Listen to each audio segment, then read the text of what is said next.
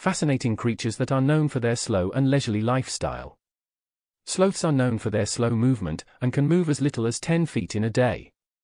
On average, sloths travel 123 feet per day, that is less than half the length of a football field. They are able to move so slowly because of their low metabolic rate and have a very slow heart rate, which can be as low as 40 beats per minute. Sloths munch on leaves, twigs, and buds and have a unique digestive system that allows them to break down tough plant material. They have a multi-chambered stomach and can take up to a month to digest a single meal. Sloths, adorable and lethargic, spend much of their lives in the canopy, snoozing and remaining hidden from predators. Found in the tropical forests of Central and South America. With their long arms and shaggy fur, they resemble monkeys, but they are actually related to armadillos and anteaters.